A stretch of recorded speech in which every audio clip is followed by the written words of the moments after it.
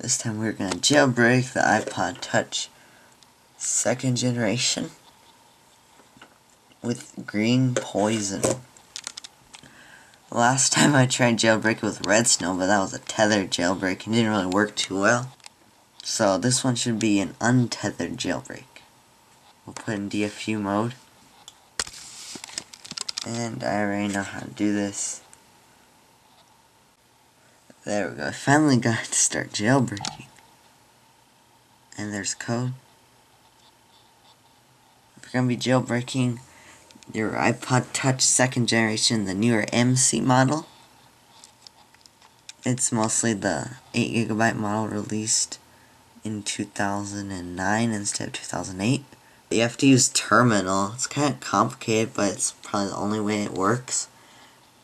And you have to just put in DFU mode you have to do that, you have to go to, you have to do just slash applications or wherever it is at, and then you do the app, and then slash content slash macOS slash Greenpois0n, hit enter, and then it takes a while because it waits for it in DFU mode. But once it's in DFU mode, then it starts right there. Checking device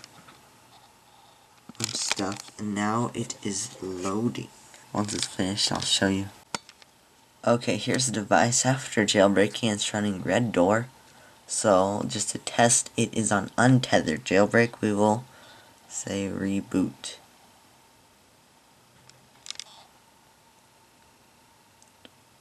And the Apple logo is transitioning to the Greenpois0n logo so it looks like is on untethered jailbreak. To get this to work on Mac, you probably have to do the terminal command line just to make sure everything is going good because when you're in the terminal it shows you all the the whole entire log. It takes a while to load. And there it is. There it is, all loaded up.